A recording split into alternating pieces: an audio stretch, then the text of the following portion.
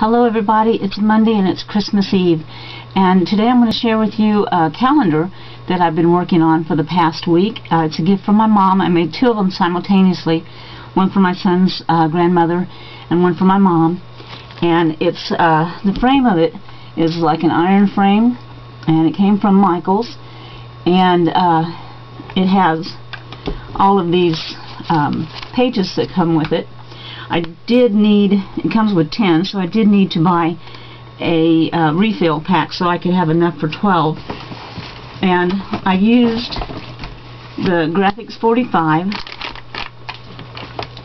Um, sorry, that thing's falling. I used the Graphic 45 Place and Time 8x8 page and I made my entire calendar out of this and one page from the Graphics 45 ABC primer for, that I used for September. Um, I used my embellishments that I had at home and but I would say the bulk of this, like 75 to 85%, is just the Graphics 45 paper. Now I'm going to set this up here so that you can see it. I want to make sure I measured where to set this, so I hope that I do it right for you. And um, I'm going to start out with January. Make sure that you can see. And I used the papers, and I used a Tim Holtz embellishment there. That's January.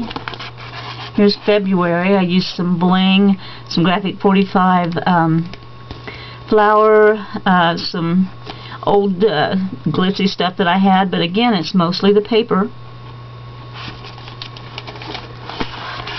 Here is March. I used some burlap for the nest material. I used gathered twigs to to tint it. Um, some flowers I had, a little bit leftover bling from the last page, a Graphics 45 clothespin so they can put memos on there, and again the paper. Here's April. And this is a Tim Holtz die with a mini rabbit.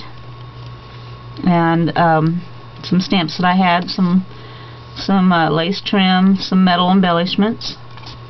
This is pretty cool. It's like a velvet flower. Here is um, May. And again, most of the paper, I use a tiny little uh, dollar store doily that I got a whole package of, like 12 for only a dollar. And tinted it with uh, some chalk ink, amethyst chalk ink, I think it was. But again, mostly the paper. Here is June. On here I used a couple of the tags, the place and time tags. Some flowers and some pearls. Here's July. I made a rosette and then used one of the tag buttons for it. And I cut uh, little banners and put it on some baker's twine.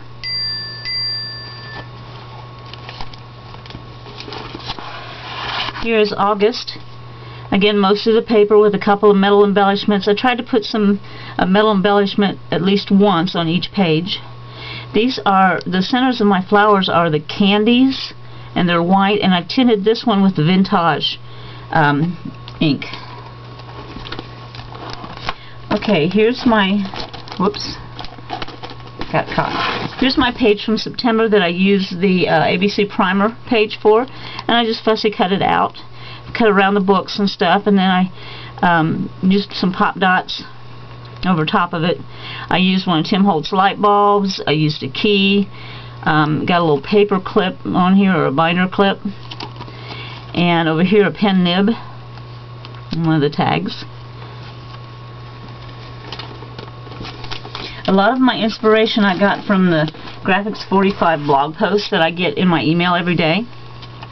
But I did I didn't do everything exactly the same way. Sometimes I altered it a little bit, sometimes I altered it a lot, and like September, I did a completely different thing.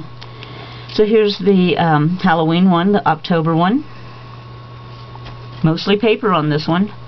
Um, no metal embellishment on this one though. I kind of think I missed that. A little bit of bling. Okay, and here is November. And And I just love this burlap flower with the antique button in the middle and I got some leafy brads and I've had these for maybe two three years.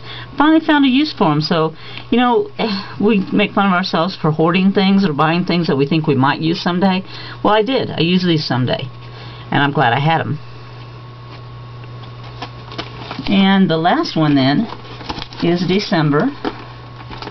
Let me pull this over right and this one I did completely different from the one, the blog post, because it was just way too busy. It used the Nutcracker Suite, and I was going for vintage for this whole calendar. And I got the, the metal reindeer and the metal bells of Tim Holtz. Got a tag down here, tag up here. Put a snowflake tag on December 25th. And then on the back of this, a page that comes is a page like this and I didn't use these cut them up. I used I bought um, a sheet of Julie Bean calendar paper and used it because I wanted the calendar parts to be bigger than these. So I just put this in on the back uh, as a behind page and then I signed it down here handmade for you with lots of love and my name and the year.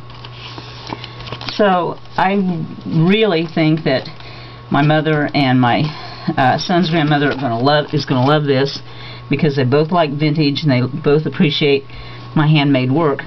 But I wanted to share with this this with you. It took me oh just about a week of working on this uh, around my regular work 40 hour shift and I did two of them at the same time so while it, it is kind of a lot of work you know it's like the work of a mini album it was fun and I looked forward to working on it every day and I made two of them in a week's time because I did it my assembly line fashion. But I wanted to share this with you. And the frame is um, sells for $14.99 regularly at Michael's. And I got it with a 40% off coupon both of them. On the back is just the the dark page. But you know you, you could put something else as a backing. I didn't. But they could use those that area to um, put photos in or some journaling or some memorabilia from that month. So I will take a picture of each of these pages and post it on the blog as well. But I wanted to share this with you and I want to you, wish you a Merry Christmas. And I'm going to take a week off next week. There won't be a Monday Musings next week on New Year's Eve, but I will be back the week after. So have a great Christmas. And uh, I hope you've had a happy Hanukkah and anything else you celebrate. Merry Christmas. Bye.